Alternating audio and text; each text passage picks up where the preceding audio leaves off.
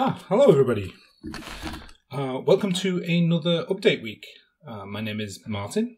I, as always, I'm an Inkscape Pro programmer, uh, hoping to develop Inkscape in the ways that regular everyday users would like. Uh, thank you for jo- joining me for another up- up- update week. Uh, we're going to be talking about the multi-page work again. I think this is week ten. Oof. This might be taking a while, but then again, this is exactly what we thought it might because multi-page support has been uh, a feature in Inkscape that has been known. Like we knew it would take a lot of work to get it done.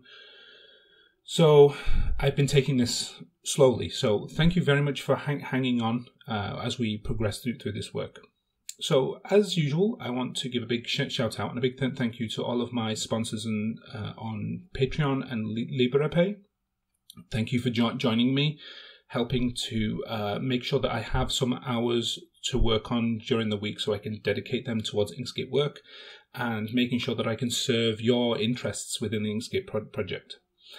Uh, so, what did I get up to this week? Uh, this week, I uh, fixed some crashes in some old work. So, basically, previous work that I'd worked on. The objects dialog had a memory leak which caused cra- crashes, especially on Mac OS. Uh, we're not exactly sure why Inkscape crashes only on some operating systems with some, some of these memory leaks, but they're good to get fixed for every operating system. Um, I also fixed issues with the object dialog itself not updating uh, when you first open it. Um, so those are all fixed. uh, there was some website work. I fixed the Mastodon uh, social media link. It should now correctly identify your your rel me so that it verifies your Mastodon link. Um, and we also tested the membership protocols from a few weeks ago. Uh, we had a developer slash committee leadership meeting, and we all got together and uh, tested it. Uh, it's looking really nice. I mean, I, I really like the logs. Um, I, I, don't know, it just makes me a little giddy um, when you see something like nicely ordered. Uh, okay, so multi-page support. This is what you're probably here to hear about. So this week I wanted to work on two things: the reordering of pages, and the uh, there are loads of uh, reported problems that need to be fixed. The reordering actually took quite a bit of time, um, but I managed to get it sorted out. It both can allow you to move the pages backwards and forwards within the stack. Uh, I also decided to add an indicator to the tool, toolbar to tell you what the pages were, uh, just so you can see like three of three pages. Uh, it means that when you move it back, backwards and forwards, you get an indication of where it is in the stack. Um, when you move the page, there are two op- options. One is you can have the objects move with the page, and what will happen is the pages will sort of uh, switch places and the contents will move as well. And the other is that you can just move it in the stack, and none of the pages f- will physically move on the cam- canvas at all. They'll just move in this in the uh, in the sort of virtual stack, so that when you export it, they'll uh, be exported in a different order. Um, those two options are important because there are different reasons why you might have um, an ordered list of pages. Some people keep like a list of pages going along the side, uh, and so they want them to be in order. And other people keep the pages like all over the place because they have a design uh, sort of like canvas.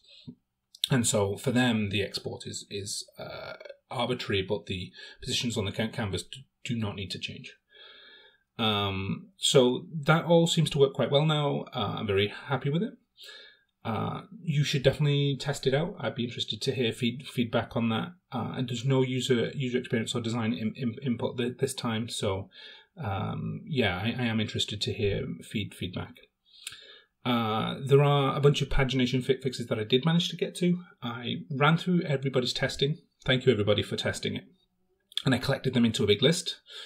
I thought that I'd be able to get through the list honestly um, this week, but um, the reordering was a bigger job than it ended up being than I thought it would be, and the uh, the fix honestly the fixes seem to be ever more difficult the more you looked at them. Um, and in fact, one of the reasons why this video is late uh, today is because I was actually up way too late last night fixing, try, trying to fix one of these issues, and and I only just managed to fix one of the issues. So um, thank you for bearing with me uh, as I as I like slowly work through through them.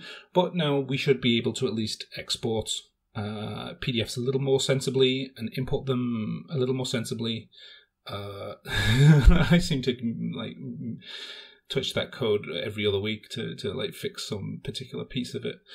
Um, but that's okay. It, it like at least it, at least it's logical, like wh- why why it breaks and then why it fi- why it's fixed. Um, and that and that's pretty much it. Like, it, please do report more more problems. Uh, look at the ones that are already reported, so you don't have to duplicate those things. Um, but yeah, thank thank you all for testing this this release. I'll put a link again to the in pro- pro- progress um, builds, and um, thank you very much for, for watching. Uh, I, big note at the boot. Thank you for uh, voting for the uh, the thing that I should be working on next. I honestly didn't expect user uh, polishing, like user experience polishing, to be like the number one vote- voted thing. It won on both the uh, the private vote and the public vote, um, and now I just have to figure out or ask people what that means. Well, basically, like there's just a lot of things that I could pay attention to, and it would be unfair of me to just randomly throw a dice and like pick one. Um, so if so, I may I may end up actually doing another poll to ask what exactly in the user interface should be the focus. Uh, but that's for future me to sort out. Um, thank you very much for watching, and I will see you all next week.